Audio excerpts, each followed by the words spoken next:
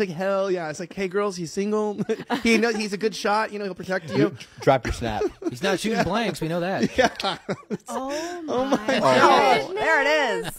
so I saw this one TikTok of this uh, one person. I think she was like 25, and she was like waiting for all the single patriotic moms to take Kyle's virginity. I'm like, too late.